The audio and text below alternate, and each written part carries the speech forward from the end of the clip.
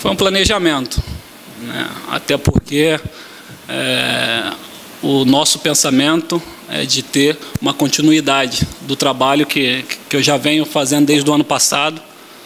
Né? E, e é para deixar bem claro né? que eu não tive lesão, né? foi, foi sim né? um planejamento de fortalecimento né? para mim aguentar esse, é, a temporada toda.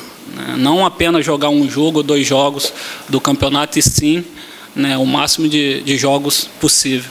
E para isso, né, estou fazendo um trabalho especial de fortalecimento né, muscular. E, e, junto com o departamento médico, comissão técnica, né, os fisioterapeutas, né, a gente decidiu, né, por estar em início de, de temporada, de, de aproveitar esse tempo que a gente tem, de fazer esse, esse fortalecimento para para aguentar jogar o, todos os jogos possíveis. E com certeza né, teve uma evolução muito grande, por isso que, que hoje eu me sinto bem para jogar todos os jogos que, que o Botafogo vai enfrentar nessa temporada.